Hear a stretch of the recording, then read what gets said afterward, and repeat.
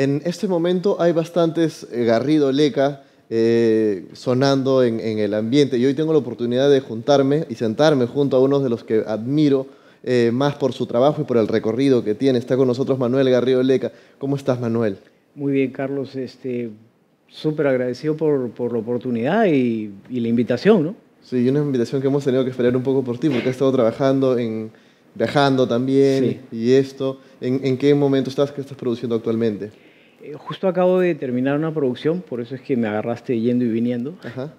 Este, el, el, trabajo de un productor a veces, bueno, generalmente involucra viajar bastante para, para, dentro de las distintas fases de lo, del proyecto, ¿no?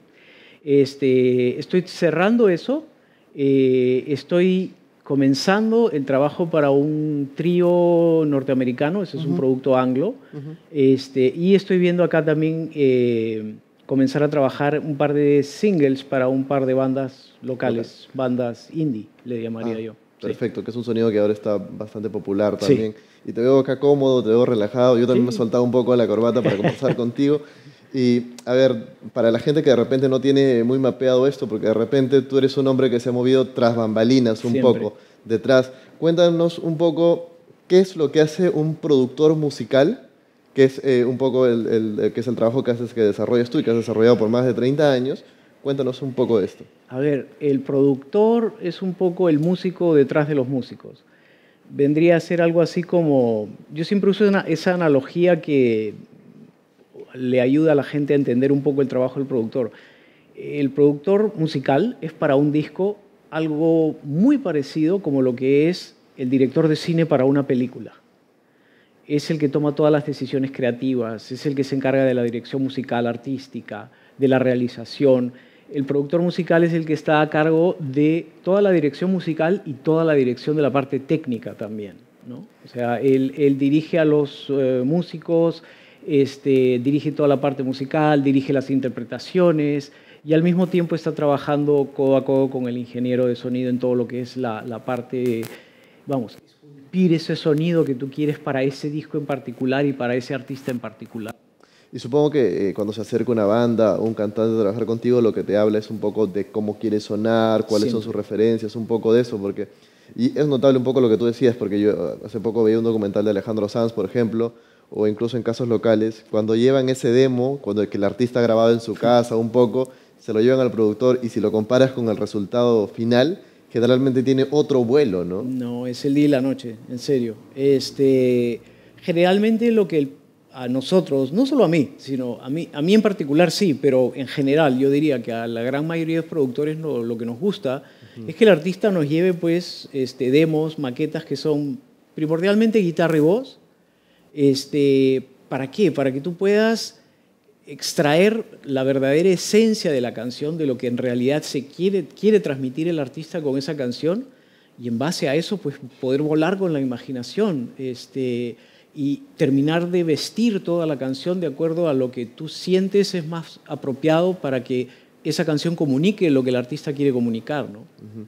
¿Y comenzaste tú a eh, trabajar en música, en estudios? ¿Cómo, ¿Cómo fue este inicio tuyo? Es curioso. Este, yo en realidad me metí, descubrí la, la producción musical casi, casi de casualidad. Uh -huh. este, hace muchos años yo me fui a, a vivir y estudiar a Estados Unidos, estudiar específicamente música. Uh -huh. Yo tenía una vaga idea de lo que hacía un productor, ¿no? Este, pero yo quería ser eh, compositor, eh, músico de jazz. Ese siempre fue mi gran pasión y hasta ahora lo sigue siendo ya en, a mi gusto personal. ¿no? Este, y a la mitad de la carrera, un día descubrí de pura casualidad lo que hacía un productor, porque un profesor mío, un profesor de armonía mío, también era productor. Uh -huh. Y un día fui a buscarlo a un estudio y simplemente me quedé, pero prendado de lo que, de lo que había visto, este, y yo dije, yo quiero ser eso, ¿no? Este, y ahí poco a poco es que me fui metiendo y metiendo y metiendo cada vez más, comencé como, como arreglista y productor de, de, de staff en estudios ahí en Estados Unidos, de ahí me regresé a Perú, vino la etapa de lo de Arena Hash, etcétera, etcétera, etcétera, de ahí me volví a ir a Estados Unidos, y así es como poco a poco fui, fui es curioso creciendo. Que menciones ¿no? ahora la etapa de, de Arena Hash, porque cuando Arena Hash y tú se juntan, tú ya, tenía, ya habías trabajado antes con otra banda. Ya habías trabajado, si no me equivoco, con la banda Azul. La banda Azul y Dudó, sí. Y Dudó. Curioso, ahí, ahí aprovecho para, para, reparar también, porque ya Dudó, que es, tiene este disco que es eh, homónimo, Dudó, sí. bastante importante, tiene un single que es Extraños, que además no solamente es un single muy importante, sino que es un single que suena fresco para la época, ¿no? Suena bien distinto. ¿Cómo fue ese proceso? Eh, Miguel, el, Miguel Tapia, este, el compositor del tema con Octavio Medina, eh, para mí, sinceramente, este, uno de los mejores cantantes con los que he trabajado, lamentablemente ya no está con nosotros, Miguel, eh, murió ya hace unos años. Eh, vino con la canción, básicamente era la idea en guitarra y voz y bueno, y patrones de batería, que era lo que hacía Octavio. Entre los dos crearon la, la idea melódica. Y yo sentí que se le podía dar otro vuelo a la canción, algo un poco más hacia lo que estaba sonando este, en Europa en ese entonces, en 80 y algo, este, con más presencia de teclados, arpegiadores, más hacia ese synth pop británico que estaba muy de moda en esos años. Eh, amalgamado con la idea de ellos, amalgamado con la idea de, de, de, Freddie Nair en los teclados de parte de la banda, y es un poco como que se dio toda esta conjunción de ideas que terminó siendo lo que es extraño, ¿no? lo que es la canción, que para la época pues sonaba distinto, sí, como tú dices, es cierto. Sí, y además eh, es curioso porque yo revisando ya revistas de la época, por ejemplo, de Arena Hash, eh, les preguntaban a los integrantes en esta suerte de slam qué banda peruana escuchas y la mayoría de ellos señalaba Dudó, es decir, la importancia que ellos tenían. ¿no? Tengo entendido que es Manuel Sanguinetti, el, que era en su momento decisor máximo en doble nueve, eh, ahora está, no sé si semi-retirado, creo que vive en el norte. Eh, ¿Él fue el que te une a, Arena Hash? ¿Cómo fue ese sí. proceso? Este, antes de irme yo a vivir y estudiar en Estados Unidos, yo trabajé en doble nueve un tiempo, tenía un programa de jazz ahí. Este, Como disjockey presentador. Sí, sí. Ah, Tenía un programa de jazz que, que había los domingos en la noche. Y también como eh, Basta de Jazz. Basta de Jazz. Sí. Buen nombre. Sí. este, y ya después, durante los días de semana, también trabajaba como DJ normal, ¿no? Ya en rock. Y bueno, después de eso me fui. Y cuando yo estaba por volver a Perú, eh, Manuel Sanguinetti es que conoce a Pedro, porque Pedro le lleva la canción eh, Difamación. Eh, Difamación, creo una canción medio punk, si se puede decir. Sí, medio. ¿No? Es hardcore, digamos. Hardcore, digamos. y tenían menos, ni uno tenía DNI azul, digamos, ni uno tenía no, libreta electoral. No, estaba en el colegio. En momento, todos. Exactamente. Entonces, este, Difamación sonó un poco en, en doble nueve. Eh, y luego cuando Pedro le lleva otra canción, Manuel le dice, Manuel Sanguinetti le dice, no, sabes que esta no está, tu música necesita un productor. Teniendo, teniendo Manuel Sanguinetti todo el background de, de, Traffic Sound y eso, él sabía lo que era un productor y lo importante que era un productor. Y le, le, dijo, pues este, tu música necesita un productor. Y mira, yo tengo un pata justo que acaba de volver de Estados Unidos y él, él, es productor, él se dedica a eso. Te puedo dar su número, llámalo y, y, y ya, pues, ¿no? Este, conversa con él. Ya, bacán. Entonces le dio el número y al día siguiente me llamó Pedro, nunca me voy a olvidar de la llamada. Eh, me dice, hola, este, no me conoces, soy, mi nombre es Pedro Suárez Vértiz. Este, Manuel Sanguinetti me dio tus datos porque me ha dicho, yo tengo una banda, porque me ha dicho que mi, la música de mi banda necesita un productor. Este, yo no sé qué hace un productor, pero mm. Manuel me ha dicho que la, la, música necesita un productor y por eso te estoy llamando. Más o menos fue así la conversación. Y ahí yo le expliqué un poquito qué es lo que hace un productor. ¿no? Bueno, no fue tan difícil porque Pedro ha sido y es y será muy fan de, Beatles. Entonces ahí más o menos como que agarramos un, terreno, un área en común. Yo también soy Beatlemaníaco. Y le dije, ya, mira, lo que hacía George Martin para Beatles, eso es un productor. Ah, ya, ok. Entonces yo le dije, bueno, ¿y cómo puedo escuchar tu música? Me, dice, mira, nosotros después del colegio ensayamos casi todos los días en el garaje de mi casa, literalmente una, una banda de garaje. Este, y si quieres, pues cáete un día, pues no, ya, pues yo digo, me caigo al día siguiente. Y literalmente al día siguiente fui, escuché lo que ellos tenían hasta ahí, estaba bastante crudo, pero me di cuenta que habían ideas muy buenas, pero que había que hacerle algo que nosotros los productores llamamos desarrollo artístico, que es ir puliendo los temas, ir puliendo el repertorio y también llevarlos a ellos este, a un nivel de interpretación en el cual tú sabes que te van a rendir en estudio, porque el nivel de exigencia en estudio es muy alto. Mm, contrario a lo que mucha gente piensa, que mucha gente piensa que al estudio, estudio puedes meter a cualquiera y en el estudio las reglas, no, no. Este, el nivel de exigencia en estudio es bien alto, entonces un poco como que fui trabajando con miras a eso. Este, ahí en, el interín es que también este, por temas personales Alex Horhuber este, se va de la banda. Eh, por un tiempo trabajamos los tres, este, Arturo, Patricio, Pedro y yo, solos. Eh, y hasta que un día les dije, yo creo que ya estamos. Vamos a, hemos trabajado estos cuatro temas totalmente nuevos, no estaban dentro del repertorio anterior. Este, yo creo que ya podemos entrar a estudio, vamos a entrar y vamos a ver qué pasa. Entonces ahí entre los, entre los cuatro este, juntamos plata y nos metimos en un estudio a grabar. Eh, más o menos ahí es que... Cuando dices juntamos plata es porque también era una apuesta tuya de alguna manera. Sí, porque yo le tenía mucha fe al, al, proyecto.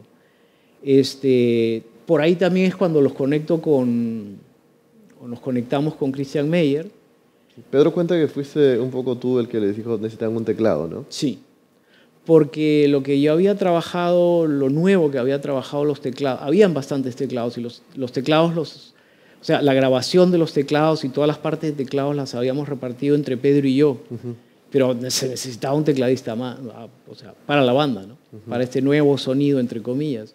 Y ahí es cuando yo a través de otro conocido es que sabía de, literalmente un chiquillo que vivía al frente suyo que tocaba piano y bueno, que era cristiano. Entonces es ahí como vino la conexión.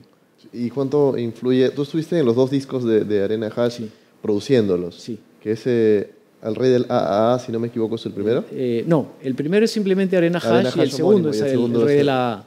Sí, ¿Y qué, qué, fue un poco lo, lo que encontrabas eh, en, en, ese trabajo que mencionabas con Pedro? Porque Pedro era la persona que era el autor de casi todos los temas. ¿no? Creo que de toda la historia de discografía de Arena Hash, solamente uno que es de Christian, ¿verdad? Todos los demás temas son de Pedro. Entonces, esa dinámica entre él y lo que podías ofrecer tú tenía que ser muy importante, ¿no? Sumamente. Este, entre los dos llegamos a generar una química creativa que pocas veces, te voy a ser enteramente sincero, pocas veces he llegado a sentir que se ha repetido en mi carrera. He tenido la suerte de trabajar con, extraordinarios artistas, este, artistas de nivel top de distintos países del mundo.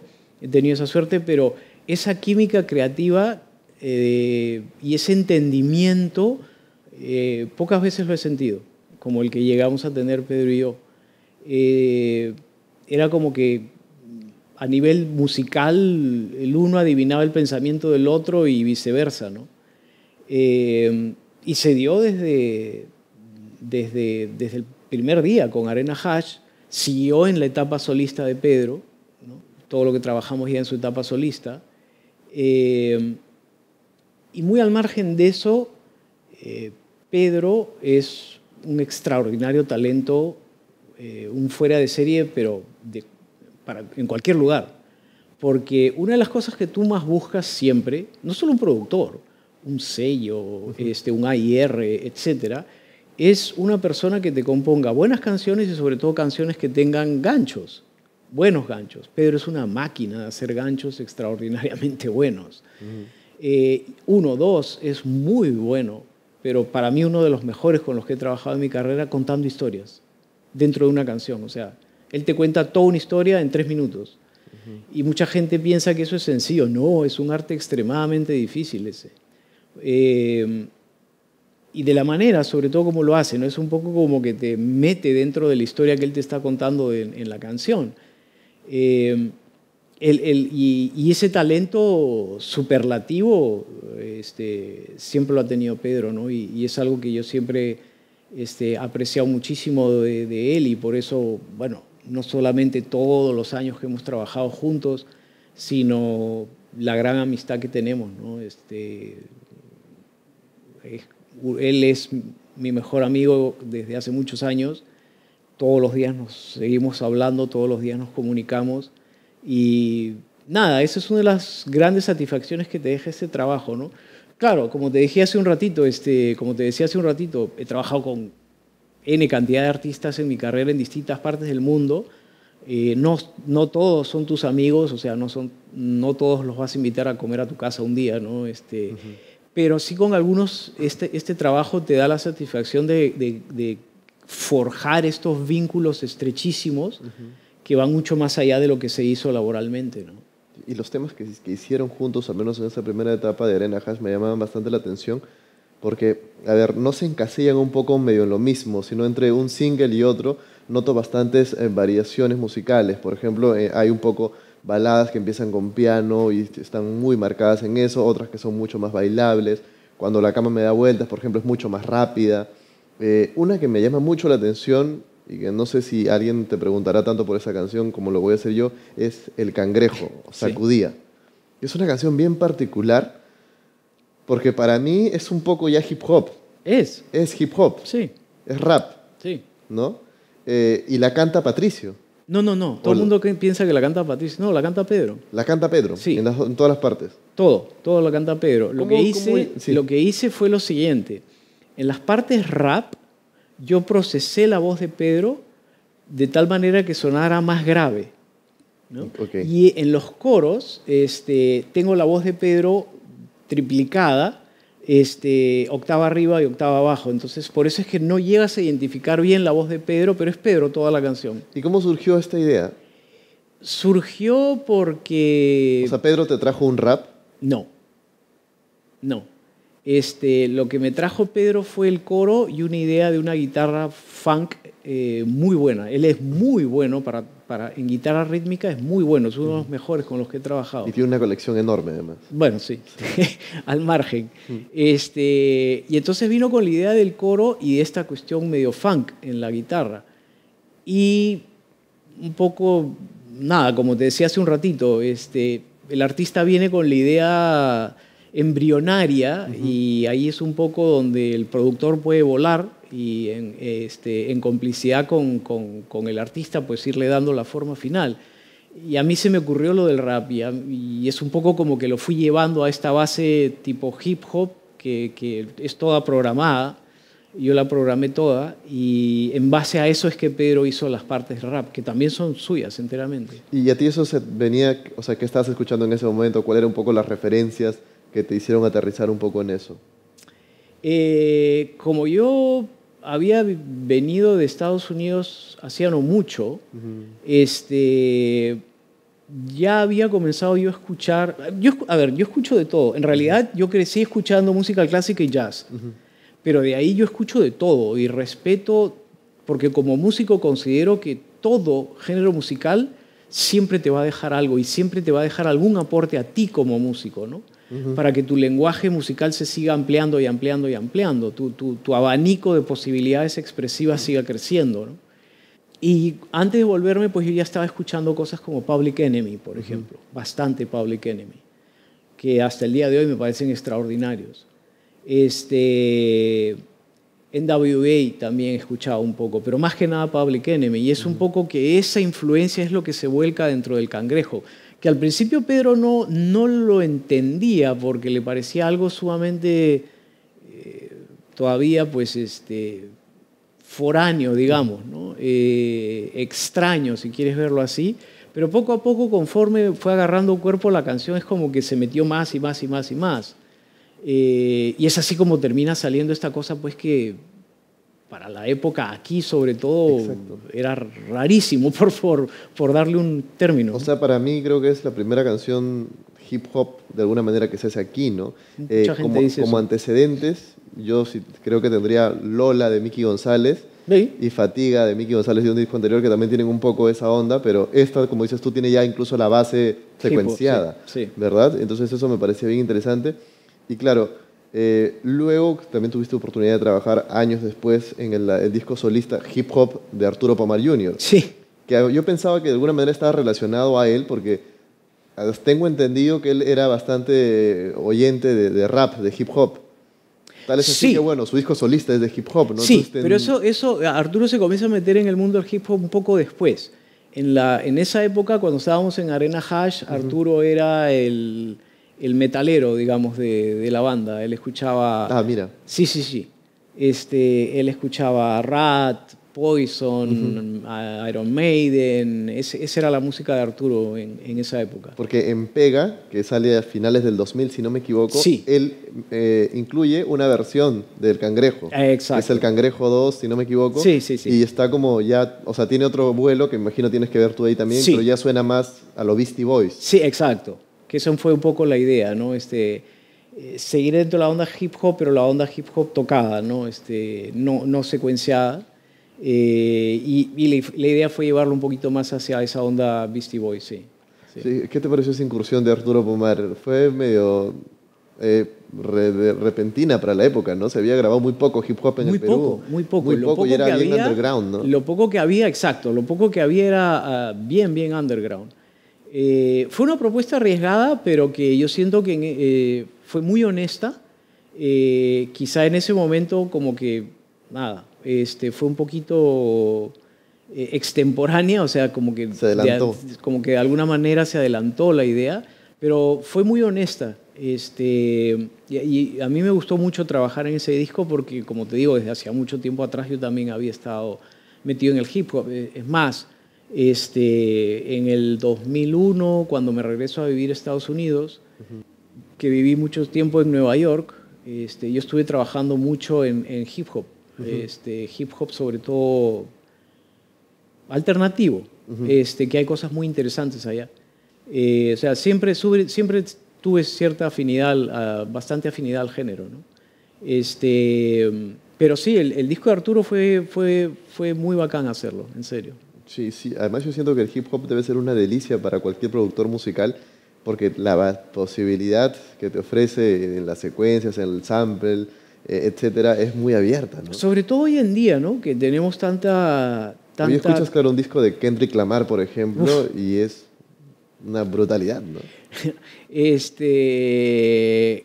Kendrick Lamar... Eh, a ver, no el más reciente, pero el anterior de Kanye West también son discos extraordinarios, eh, donde se abren una serie de puertas, te diré, ¿ah? porque ahí hay, cosas hasta que lindan con, lindan con el jazz, con concepciones armónicas del jazz, en Kendrick Lamar sobre todo. Sí, cosas que por ejemplo en los 90 se trabajaba con A Tribe Called Quest, ¿no? que era un poco bastante también con la onda jazz. Sí. Eso, es bien curioso. Yo, eh, ahora que vas a Kanye West, ah, eh, tiene un disco que es eh, My Beautiful Dark Twisted Fantasy, que también marca, un, creo que un antes y un después en su momento, ¿no? Sí, sin duda alguna. Ese disco marcó, marcó este, marcó una línea, digamos, ¿no? Este, como lo mismo que, te, que decíamos hace un ratito del Kendrick Lamar ahora. Sí. Y bueno, antes de, irnos a ese tema, que me alegra mucho que tengamos esa afinidad porque a mí también me gusta y lo escucho mucho, eh, quiero regresar al momento de Arena Hash porque de ahí también se desprenden otras carreras con las cuales también trabajaste. ¿No tuviste oportunidad, creo, de estar en el primer disco solista de Pedro, produciéndolo? ¿O, o no fue tan directo? ¿Cómo fue? Eh, sé que en el segundo sí estás sí, claro. Eh, completamente, sí, ¿no? Sí, no. Este, yo estaba viviendo en Estados Unidos todavía. Eh, y lo que hacíamos era trabajábamos a larga distancia y cada vez que yo venía a Lima de vacaciones, pues me metía al estudio con él. Pero en realidad ese disco lo comenzamos a trabajar en la última época de Arena Hash. Alguna vez escuché una entrevista que decían, creo que Cristian o Patricio decían que el primer disco de Pedro Suárez Vértiz, solista, iba a ser como el tercer disco de Nahash, ¿no? Es lo que sería. Mm, no tanto, este, ah, porque... No, no tanto, porque la... A ver, un poco lo que sucede es que eh, la dirección musical que, que, la banda quería tomar eh, no iba tanto por, el, por, por la dirección que Pedro quería tener. Es más, yo recuerdo clarísimo, eh, todavía no habíamos terminado de, de, hacer, estábamos en la última etapa del segundo disco de Arena Hash y un día, me acuerdo, los reuní en mi casa, eh, no estaba Pedro, porque la intención era esa, porque yo ya venía un poco como que viendo lo que venía Y le dije a los otros tres, este, ojo, que nada dura para siempre y no cometan el error de poner todos los huevos en una sola canasta, ¿no? Este, piensen ustedes en sus carreras como músicos, este, hacia dónde pueden eh, ampliar sus horizontes creativos, eh, no cometan el error, ¿no? Eso es un poco lo que les dije, porque un poco que yo ya veía lo que, lo que se venía, porque al mismo tiempo venía hablando con Pedro y Pedro, se sentía pues un poco encasillado en torno a, lo que era eh, la, a ver, la ruta musical y expresiva que quería tomar la banda, que era un poco más rígida. ¿no? Él quería volver a incursionar en, cuestiones más de raíz, más blues, más, este, más rock, más Stones, cosas tiradas hacia los Stones. Ese tipo de cosas era lo que, lo que él quería este, comenzar a explorar, que siempre ha sido lo suyo en realidad. ¿no? Eh, y entonces varias de esas cosas las trabajamos Pedro y yo eh, aparte, digamos. Luego, eh, mientras ellos estaban en Estados Unidos, yo también vivía en Estados Unidos en ese momento y, era un poco como que ahí iba trabajando con Pedro eso. Luego es que él regresa y decide comenzar a hacerlo este, aquí y estuvimos en constante contacto y cuando yo venía pues estaba trabajando ahí con él en el estudio. Pero él termina solo ese disco. Y además en ese disco, en ese primer disco, él te dedica un tema. O bueno, sí. escoge un tema en base a una historia tuya, ¿no? Que es MLB. ¿Puedes contarnos un poco de eso? Pedro me dijo que lo iba a hacer y lo, estuvimos viendo el tema. A ver, cuando Pedro me presente el tema no tenía letra todavía. Ah, era solo la... Sí, era solo la melodía, la línea melódica y un poco como que conversamos en torno hacia dónde podía ir la, el resto de, del, del, arreglo. ¿no? Eh, y después es que me dice que, que lo había basado en, en, esta historia. Sí, o sea, cuando yo, tuve, cuando yo tenía 10 años, este, fui eh, declarado clínicamente muerto. Eh, y después de una semana de estar en coma es que regresé. Eh, y un poco lo que recuerdo de esa experiencia, donde o sea, tuve paro cardíaco y demás, es lo que Pedro refleja en esa canción, sí es, es cierto. Sí es cierto. es una, además es una gran canción. Y, sí. Y qué bueno que hayas regresado, porque mira todo lo que has construido, realmente es, es, es un motivo de orgullo, me imagino. Para, si hablamos de música peruana y ¿no? básicamente de rock y tal, es inevitable mencionar el trabajo que has hecho tú, Gracias. felizmente. Y, y en ese disco no existen técnicas para olvidar, que tiene... Eh, está marcado con eso que decías tú, ¿no? Bastantes temas que tienen otro vigor de repente. Exacto. Que Arena Hash, ¿no? si escuchas a un ángel, por ejemplo, tiene eh, este gran single que hasta ahora se escucha muchísimo, que es Cuéntame. Cuéntame. Eh, ¿Sabes un poco o cuál es la historia con Cuéntame? Muchas de las... Eh, sí, sí, claro que sí. Porque, como te repito, eso lo veníamos trabajando con Pedro de antes. buena, es buena pregunta la que me haces porque sí me gustaría aclarar algunas cosas. este, mucha gente cree, bueno, y no solo ocurre con Pedro, es generalizado.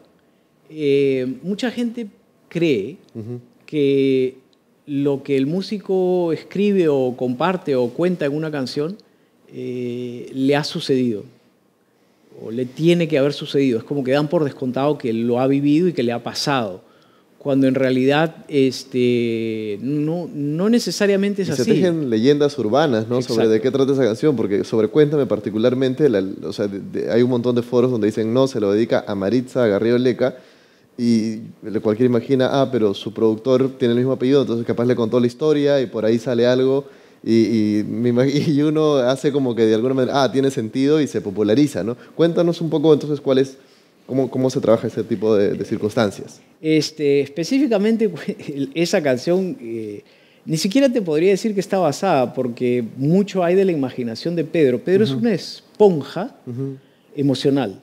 Tiene un radar para detectar las emociones de todo lo que está pasando a su, a su alrededor, que es impresionante. De verdad es un talento extraordinario que él tiene en ese sentido. Y muchas de esas cosas que él, y por eso es que él está constantemente eh, observando y viendo todo lo que pasa a su alrededor, como te digo, lo absorbe de una manera muy particular y eso se convierte a la larga en, en, fuente de inspiración para él, ¿no? Se convierte en materia prima para él para, para componer muchas cosas. Y en realidad lo que es Cuéntame, específicamente esa está basada en dos historias que nada tienen que ver con, con, con lo que se dice.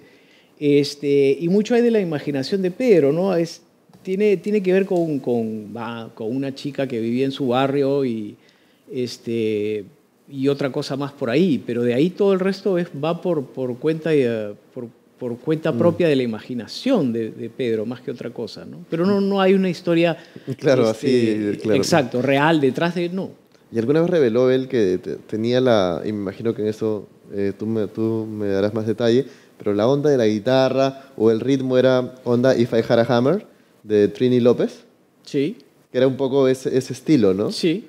Parte de las propuestas que él venía trabajando. Sí, este, eso, hay muchas canciones de las que hemos, no solo ahí, sino que las que hemos trabajado después, que tú puedes este, percibir este, canciones de los Rolling Stones, por ejemplo, detrás de eh, el mismo globo de gas, este, o en Póntelo en la lengua, no me acuerdo cómo se llama la, otra canción que, que, trabajamos, que también es basada en muchas cosas de los Stones, pero eso es, eso es normal. Es normal, claro. Y mencionabas, por ejemplo, Póntelo en la lengua.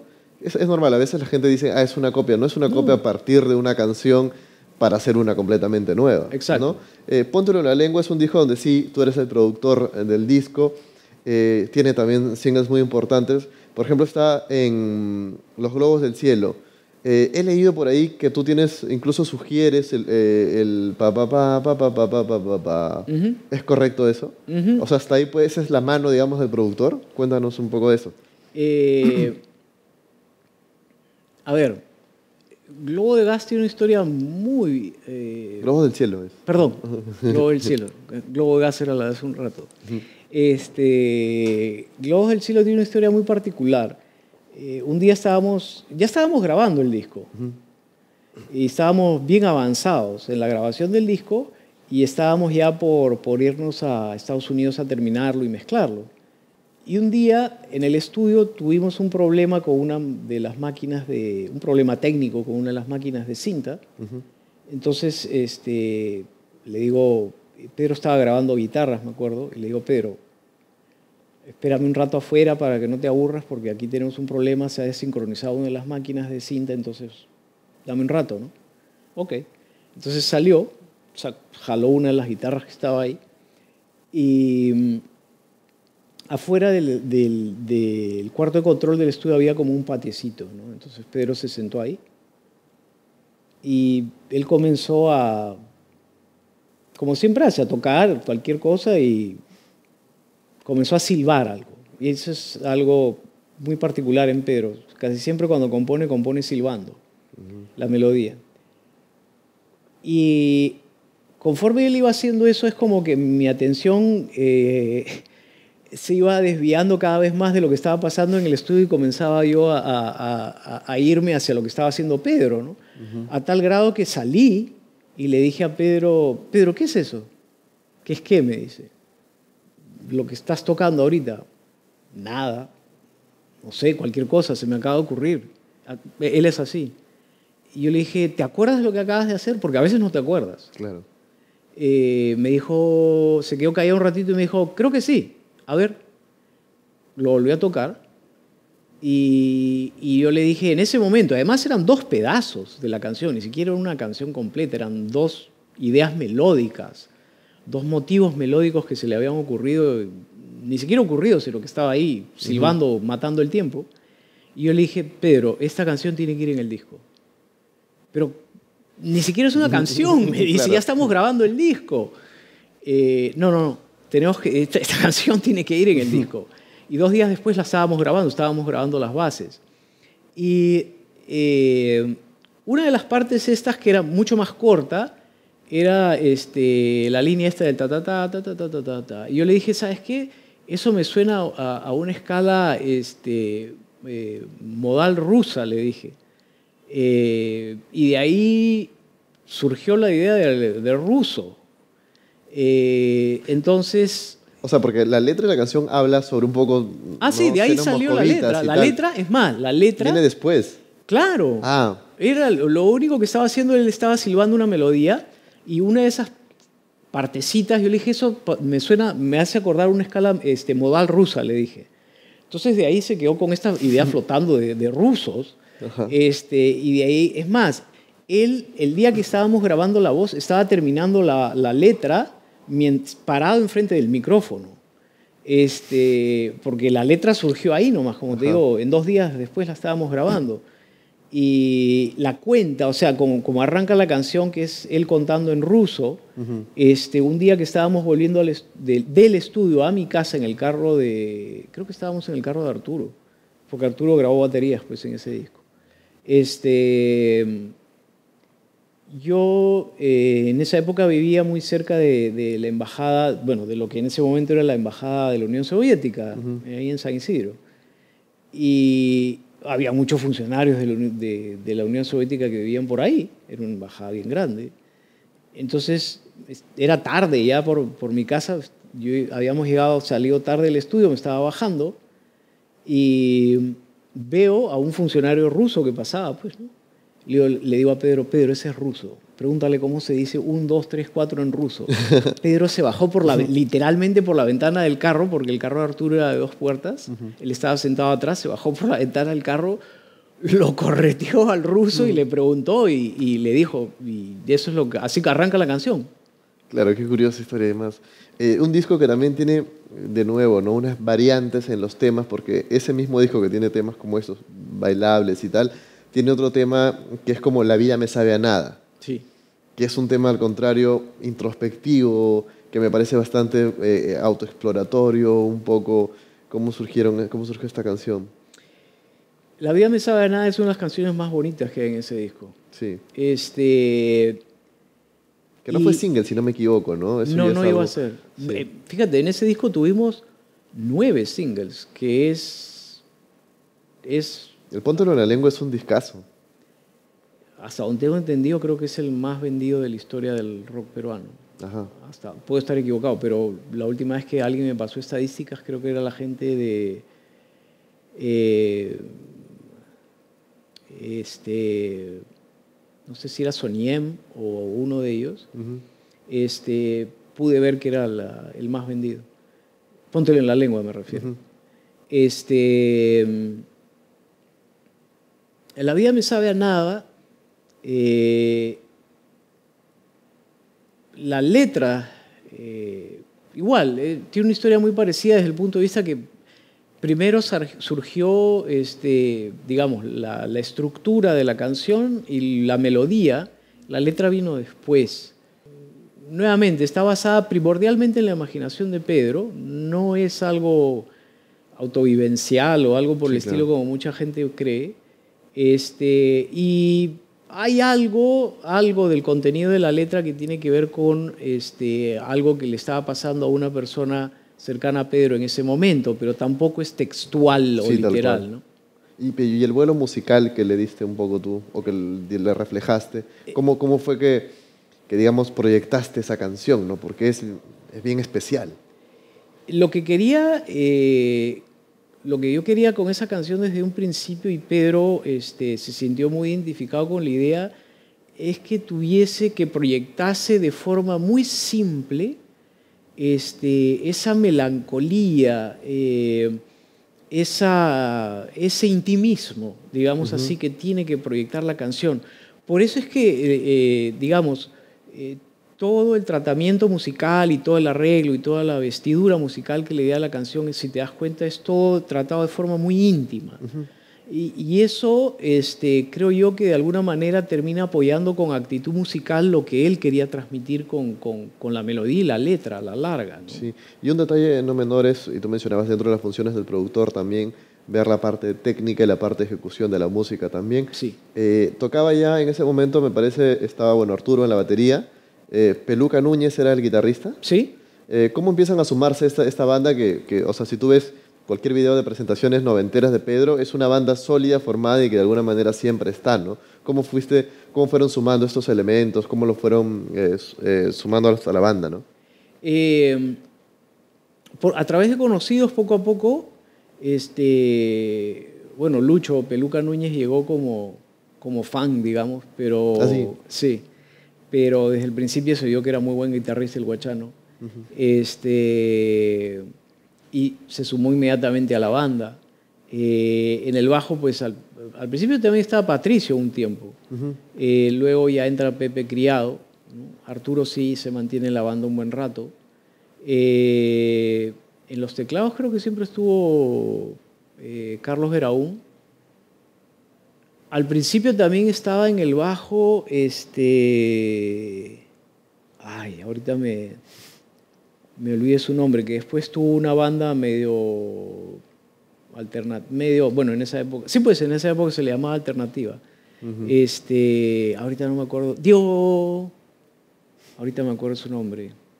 Bueno, Ya, tranquilo. Y hablando de Diego, un detalle no menor también, y que de repente mucha gente deja pasar, es que tú también estuviste produciendo o fuiste el que produjo el disco solista de Diego Berti. eh, sí, sí, ¿Verdad? Sony me contrató para hacer ese disco. Sí, que ese disco también tiene un single que es Qué difícil es amar, Correcto. que también fue un gran single en su momento, ¿no? Una canción bastante sonada y tal. Cuéntanos un poco de eso, ¿no? Desde, desde tu perspectiva del el giro musical, porque esa también tiene, tiene un, un inicio bien este, amplio de repente, no sé si esa es la palabra, yo no soy muy bueno para hablar de música particularmente, sí para escucharla. Este, pero es una canción también fresca para ese momento, ¿no? Cuéntanos un poco esa perspectiva. Sí, este, ese disco para mí fue muy, muy bacán hacerlo, Ajá. porque me dio la oportunidad de, dentro del disco, pues explorar varias cosas, ¿no? Hay, hay hasta cosas R&B, que a mí me gusta mucho el R&B. Mentirosa se llama la canción en ese disco. Eh, la canción, recuerdo, la compuso Gonzalo Polar, se la, seleccio- se la seleccioné a Gonzalo Polar. Eh, y para mí fue muy, eh, a ver, fue gratificante trabajar con, con Diego porque es fácil de dirigir. Quizá el hecho de que es actor y también su experiencia como actor este, lo hacía mucho más maleable en ese sentido, ¿no? Eh, pero me fue muy fácil dirigir a Diego, sobre todo en lo que era la búsqueda de expresiones específicas a través de, emociones específicas a través de lo que era el motivo interpretativo de cada una de las canciones, ¿no?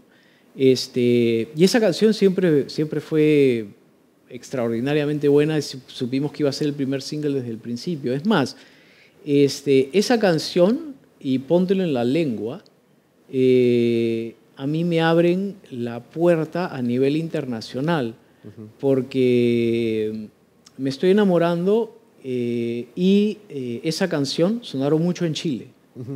Eh, O sea, qué difícil es amar. Y me estoy enamorando, inclusive me estoy enamorando, este, tuvo, no sé, como ocho o nueve semanas en, en el top ten chileno. Eh, y en esa misma época entró también al top ten chileno la canción esta, Qué difícil es amar. Eh, y ahí es cuando recibo una de las primeras llamadas de otro país para encargarme una producción, ¿no? que fue Sony Chile quien me convocó para que les produjera un- una banda de ese, chicos. Eh, y ya luego, bueno, siguieron viniendo producciones de otros lados, ¿no? Pero la coincidencia de que esas dos canciones estaban sonando mucho este, fuera me, abrió, me comenzó a abrir las puertas a, a otros, a otros territorios. ¿no? Y eso siempre es importante, además. Sí, sí, ¿no? sí. Eh, hablabas tú bastante en canciones de emociones.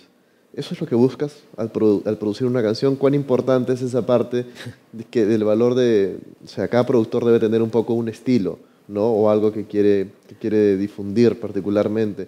Siempre tú, me he dado cuenta ahora que te he preguntado por varias, remarcas el tema de la emoción de una canción. Es que para mí eso es todo. Este, si no hay emoción, no hay producto. Eh, como yo lo veo en realidad, lo que hacemos los productores es vender, entre comillas, vender, vender emociones encapsuladas dentro de una canción.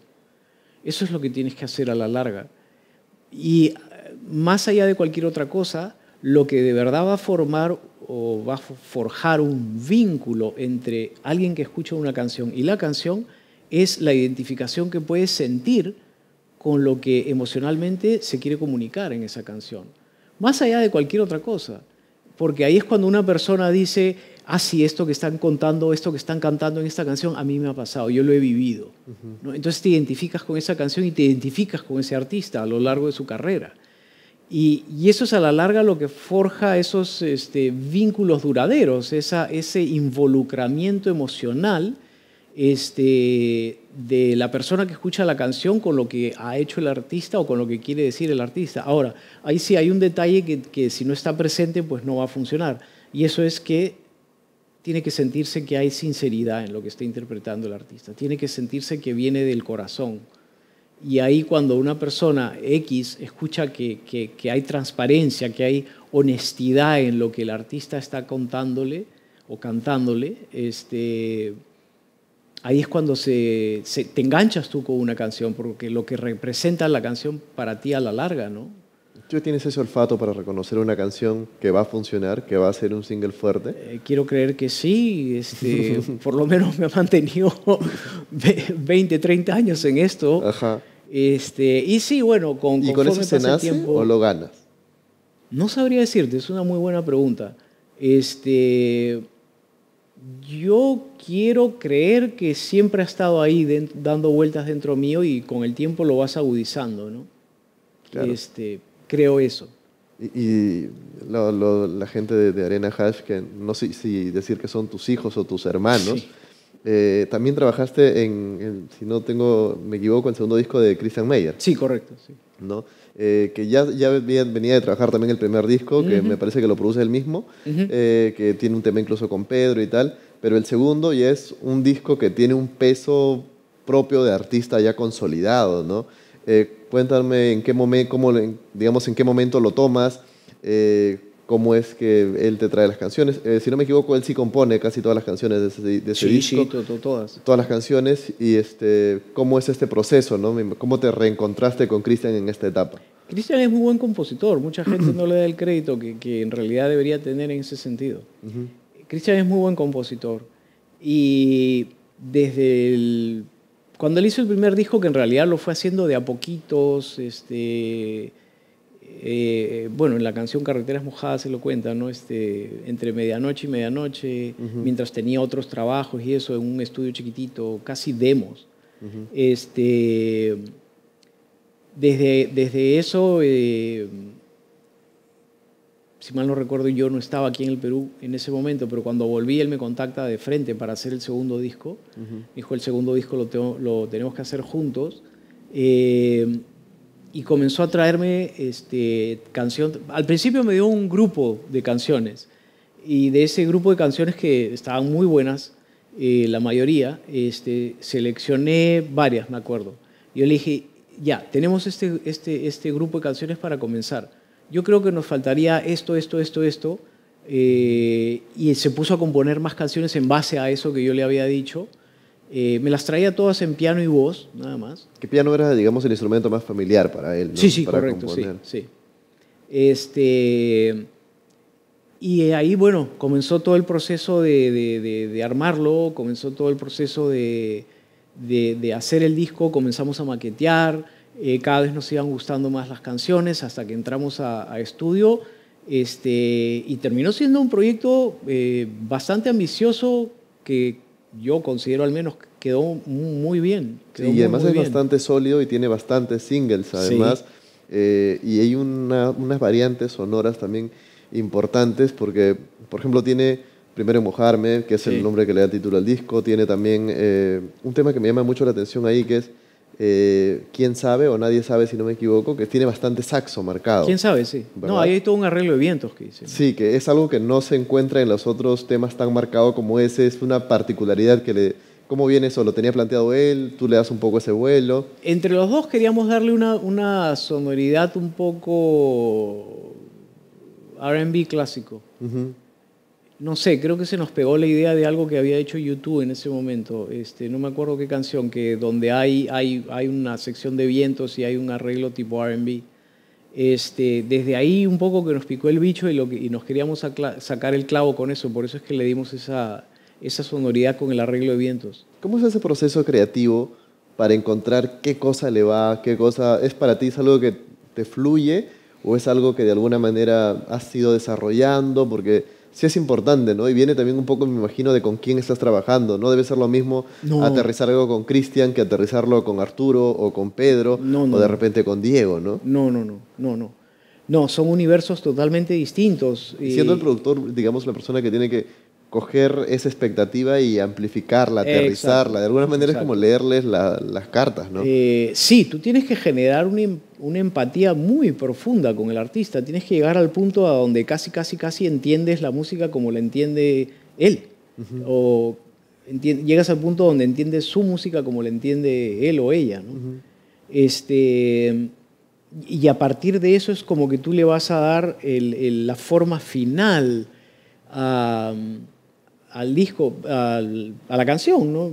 Ya una vez lo dijo hace mucho tiempo uno de mis ídolos, que es George Martin, eh, dijo, eh, el productor es el responsable, quizá no de la idea original, porque la idea original vino del artista, pero el productor sí es responsable de la forma final y de cómo se le presenta al mundo entero esa canción. Eh, y tiene toda la razón del mundo. Eh, eso es un poco lo que, lo que hace el productor. Y tú tienes que ser un poco camaleónico en ese sentido, porque tienes que meterte en el mundo de cada uno de ellos y son mundos diametralmente opuestos, ¿no? Eh, pero tú tienes que lograr esa empatía y tienes que lograr esa compenetración, a veces en tiempos muy cortos.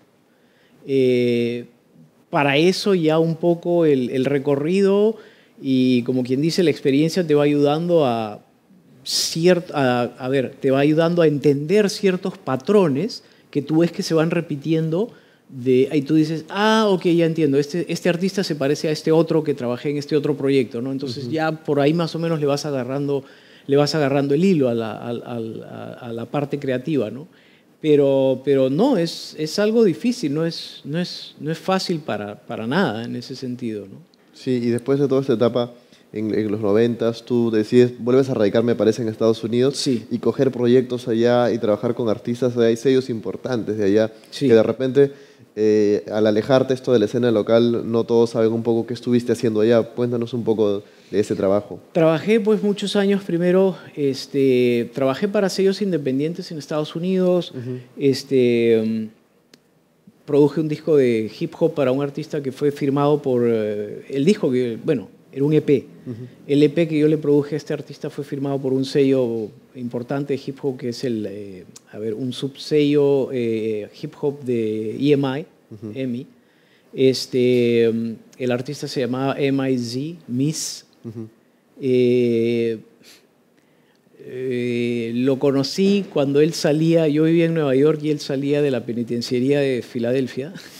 Eh, pero bueno, para el género a veces es algo y ahí también tuvieron que construir una empatía. Sí, claro. Sí, sí, sí. Además, eh, que fue difícil, pero terminó siendo muy bacán y terminamos siendo muy amigos. Este, porque en cuando comencé a meterme en ese mundo era un poco como que para mí era un doble reto porque me tenía que ganar la validación por el hecho de ser blanco también. Claro. No es como que, ok, no, que, ¿qué hace este blanco aquí, no? Eh, pero acá no es un detalle menor, ¿no? Allá es bastante importante también. Es muy importante, ¿no? Es como que, como que hablas otro idioma y no lo vas a entender, ¿no? Entonces a punta de chamba este, un poco que me fui ganando un sitio, ¿no? Y el disco terminó quedando muy bien y, este, bueno, con ese, con ese disco lo firmaron a él para, para EMI, como te decía. Eh, bueno, esto del el hecho de, ah, de, oficios anteriores, pongámosle así, el hecho de la penitenciaría y esto, lamentablemente a veces está muy ligado con el género hip hop, ¿no? A veces hasta le da validación al artista. Sí. Eh, lamentablemente después me enteré hace un, par de años que él como que volvió a las andadas y otra vez está en la cárcel. Me dio mucha pena porque tiene un talento tremendo. Este, trabajé con varios cantautores, este, Kevin Lawrence, Hope Lipwin, eh, y después es que comencé a trabajar para una productora independiente que hacía muchas cosas para el mercado colombiano y venezolano. este, trabajé con Andrés Cepeda, eh, su disco Qué difícil es amar. Trabajé con este, varios artistas venezolanos que ahora son conocidos acá, este, Tecupae, por ejemplo, eh, trabajé con ellos. Eh, y eh, curiosamente, bueno, con un montón de artistas colombianos también, Marisabel Saavedra, bueno, Andrés, Andrés que ya lo mencioné, este, Carolina Cepeda, varios otros. Y curiosamente mi primera nominación al Grammy vino en el 2010 con un trabajo, con una producción que le hice a un artista venezolano que se llama Javier Soto, este, que fue un disco que lo hicimos básicamente él y yo, sin, sin mayores ambiciones. Fue lanzado en Venezuela y aquí también conseguí que lo lanzaran, que es un disco instrumental, electrónico, de temas del folclore latinoamericano que hicimos arreglados este, a esta onda electrónica que queríamos hacer los dos, que como te digo, lo hacíamos en nuestros tiempos libres y bueno, esa fue mi, primera nominación al Grammy. Eso te, iba a mencionar, porque claro, no es un detalle menor, tú eres un productor varias veces nominado, ¿no? Sí. Si no me equivoco, lo, más reciente ha sido con el trabajo que se hizo en homenaje a Chabuca Granda, sí, sí. donde también estuviste trabajando con artistas de la talla de Rubén Blades, de Jorge Drexler. Exacto. ¿Cómo fue un poco ese proceso, no? Fue, ese, ese disco fue un parto. Este, que lo he escuchado varias veces y es, es muy importante porque es, es hay una esencia que se mantiene, digamos, de los temas clásicos de Chabuca, pero tiene un sonido que tiene esa esencia, esa presencia de emociones que tú siempre eh, tratas de rescatar muy presente, ¿no? Sí, ese siempre va a ser mi, mi, mi, mi común denominador, digamos así.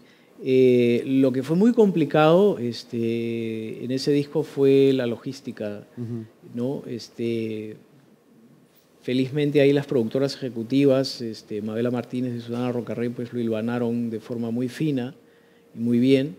Eh, pero el hecho de poder trabajar con, con todos estos artistas para mí fue una experiencia invalorable, ¿no? Además porque no sé, te imaginas otra cosa, ¿no?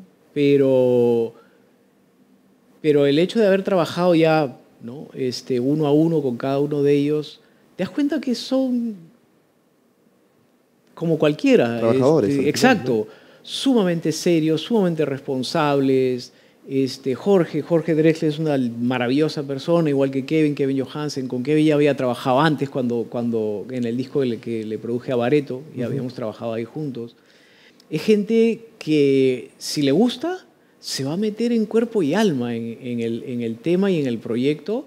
Este, y, son sumamente sencillos. Este, eh, por ejemplo, eh, Pedro Guerra, por ejemplo, que llegó a grabar, o sea, había volado toda, literalmente toda la noche, Madrid-Lima, llegó, no había dormido, había estudiado, había estado estudiando la canción durante todo el vuelo, este, que es Fina Estampa. Eh, llegó y lo primero que hace me dice, ¿qué quieres que haga? Le digo, Pedro, no te quiero sacar a ti de la canción. Eh, ok, hay ciertos parámetros de la melodía que tenemos que respetar, pero quiero que Finestampa sea Finestampa de Pedro Guerra. ¿no? Eh, igual repetí con casi todos, este, con Joaquín, Joaquín Sabina también, el, vuelo que le dio él a José Antonio fue, uf, este, para mí eso es muy importante, no sacar al artista de la interpretación, ¿no? que si bien es cierto, él no la compuso, está interpretando otra canción de, una canción de otra persona, pero que se sienta ese sello personal, para mí era muy importante en ese disco, ¿no? Porque a la larga iban a ser cantantes distintos de distintas partes del mundo, como que lo fue. Y para mí el común denominador, o sea, lo que, lo que le iba a dar la continuidad al disco era un poco, bueno, evidentemente la música de Chabuca, eh, y un poco cómo se manejaba aquí todo lo instrumental que sí lo hicimos acá, porque eso era, eh, para mí eso era el, el hilo conductor, ¿no? El trabajo tuyo de privilegiar siempre al artista es muy importante, privilegiar lo que él quiere, que él se sienta cómodo y que pueda producir bien o pueda eh, darte un producto bueno. Es muy importante para ti. ¿Cómo relacionas eso con el manejo un poco del ego? ¿no? Un poco el ego también del productor, pero también el ego de los artistas. ¿no? El productor tiene que tener un, una maleta inmensa de trucos de psicología aplicada. Ajá. Porque si te dijera que no vas a chocar con el ego más de una vez, este, te estaría mintiendo. Y te, aseguro que cualquier productor te va a decir que eh, eso es una de las cosas más difíciles eh, que te va a tocar hacer en la carrera. ¿no? Es más, George Martin decía, en muchísimos casos, 40%, ni siquiera, en muchísimos casos lo que hacemos es 20% música y 80% psicología, decía, decía George Martin. Y lo mejor que te puede ocurrir es que el artista piense que tu idea fue su idea. Mm. Eh, olvídate de tu ego, porque aquí no se trata de, de, a quién se le ocurrió la idea. Se trata de lo que es mejor para la canción y para el proyecto. Eh, entonces, si él cree que tu idea fue su idea, no importa, déjalo así, porque llegaste a donde querías. Eh, también lo decía siempre de otra forma, pero lo decía Quincy Jones, uno de los más grandes productores que ha habido, eh, cuando él entraba a trabajar con, bueno, con los artistas no tanto, pero con sus sesionistas, sus músicos de sesión, sí les decía, mira, tu ego, tu ego lo dejas este, en la puerta afuera del estudio y lo recoges a la salida. este, porque sí, es, y te va a tocar y te va a tocar días en los que al artista eh, no le sale nada. Eh, Frustración también con la que hay que eh, lidiar. Tremenda. Y lo que comienza a suceder en ese tipo de casos es que el artista, un poco por orgullo, otro poco por frustración, este, quieren seguir y quieren seguir y quieren seguir y tú tienes que encontrar la manera de decirle, no, tranquilo, hoy día no va a pasar nada, regresamos mañana y vas a ver que te va a salir, ¿no? Este, pero cuando dices eso es un poco como que se sienten, no, pero dame una chance más, eh, la que viene, la toma que viene la hago. Eh, y no, lo único que vas a hacer es vas a incrementar tu, tu umbral de frustración, lo único que vas a hacer, y no te va a salir absolutamente nada. Tú tienes que encontrar cómo manejar eso. ¿no? y por la pasión con que me hablas y se nota el, genuino amor que tienes por esto. Eh, me recuerda un poco también, hace poco vi un documental de Jimmy Ivan, Jimmy Ivan que trabaja un poco, tiene ese estilo, creo, como tú entiendes, y él, él tenía una perspectiva que me parece interesante y, te la pregunto, ahora que nos hemos extendido bastante, pero te juro que disfruto mucho esta conversación. Él hablaba de, por ejemplo, eh, había reconocido a algunos cantantes y les decía, tú en seis años vas a ser muy famoso y tal así. Eh, se desarrolla también, así como para identificar singles, se desarrolla una capacidad para ver cuando hay un talento que dices, uy, este talento puede explotar bastante, puede ser una cosa importante en unos años. Sí, sí, sí, de verdad es algo que sientes dentro. Eh, es difícil describirlo, pero sí, es algo que tú sientes dentro. Eh, no sé, es una cuestión de transmisión, creo yo. ¿Y lo has sentido ahora acá? ¿Cuáles son, digamos, los talentos que has visto últimamente, al menos en este panorama, que te han llamado mucho la atención? Siempre, eh, yo siempre he dicho que aquí eh, hemos sido muy afortunados eh, y tenemos grandes talentos. Lo que falta es un poco profesionalizar la, todo el andamiaje que, debería rodear a un, al artista local. ¿no? quizá el ejemplo más digno de destacar es Colombia. ¿no? Colombia hace 20 años en la industria, bueno, 20, 30 años en la industria no era nada, era nada. Y hoy día Colombia domina la industria. Y es un poco porque se dieron cuenta que la música colombiana podía ser algo de exportación y gobierno y entidad privada se unieron y comenzaron a darle toda esta infraestructura y todo este vuelo al artista colombiano que, que hoy día lo tiene, ¿no?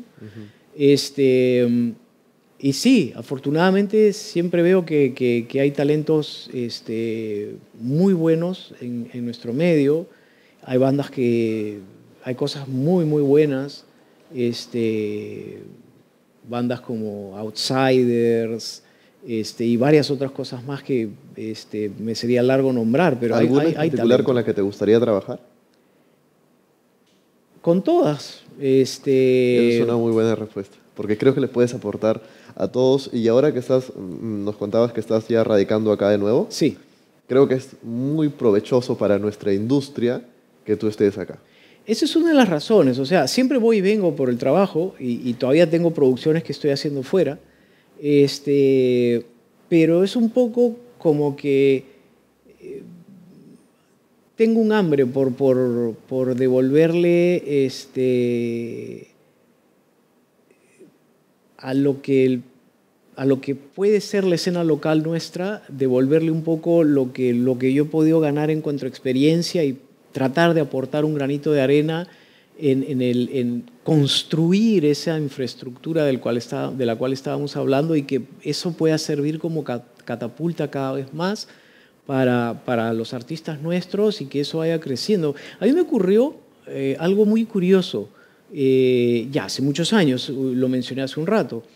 Este, cuando recibo esta llamada de Sony Chile para que les vaya a, producir una, banda de... Era como un, era como un boy band que ellos estaban lanzando, que les produje el disco. Eh, ok, me mandaron los pasajes, fui para Santiago, me senté a conversar con ellos, me, senté con el AIR, eh, me presentaron al gerente de la compañía, conversamos en una reunión, llegamos a un acuerdo, firmamos el contrato y ya, ok. Entonces ya y en la noche me invitaron a comer.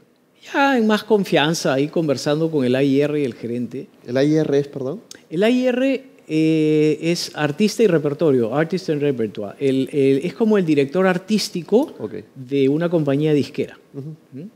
Eh, el, gerente ve la parte administrativa, pero el que ve estrictamente la parte artística, el que decide este, a quién firmo, a quién no firmo, o este artista que he firmado voy a hacer el disco con este productor X, es el, es, AIR, exacto, el artista y repertorio. Este, estábamos en, la noche ahí en un restaurante muy bonito en Santiago y estábamos conversando. Y ya, como te decía yo, en confianza, este, yo les hice una pregunta que dije, bueno, me la juego porque de repente va a ser incómoda, pero le dije, ¿por qué un peruano? ¿no? Este, sabiendo un poco ¿no? este, nuestra historia, sí, claro. la historia de los dos países. Eh, y el gerente me, me dijo, uno, porque ya estamos cansados de los argentinos. este, claro, mucho productor argentino estaban contratando ellos en esa época. Y me dijo, eh, yo he escuchado las dos producciones que tú has hecho que están sonando aquí mucho y me encantó, me parecieron súper frescas. Yo dije, va, yo quiero este peruano para que produzca estas cosas aquí. Eh, y por eso, ¿no? ¿Por qué no? Eh, y luego el gerente AIR agregó, además, me dijo, ustedes, y se referían a los peruanos, ustedes tienen una, tradición creativa muchísimo más larga y rica que la nuestra, pero ustedes no se dan cuenta de eso. Y me dejó pensando, y es cierto, nosotros en ese sentido es, verdad, nosotros tenemos una tradición creativa mucho más larga y creativa. En los 60, primera parte de los 70, aquí venían a producir y a grabar discos de, bandas de Argentina, de Chile, de Uruguay, este, de Cuba, distintos géneros, pero venían a hacerlas acá. Luego, bueno, todo el periodo de la, de la, dictadura militar que un poco como que castró todo eso, todo ese avance y nos retrocedió. Pero, pero es, pero es cierto, o sea, nosotros tenemos una tradición creativa mucho más rica que varios otros países. Lo que nos falta es un poco creérnosla y profesionalizar eso, ¿no? De alguna forma. Así es, es muy representativo lo que nos dices, creo que es un muy buen ejemplo. Me alegra que estés acá y me alegra más ahora saber que estás acá por gratitud también y para ayudar a, digamos, a remar juntos, ¿no? Ha sido una conversación que para mí se ha pasado volando y que estoy muy contento del fin haberla logrado. Eh, te agradezco mucho por estar acá. Al contrario, gracias, Carlos. Manuel Garrido Leca, por favor. Gracias.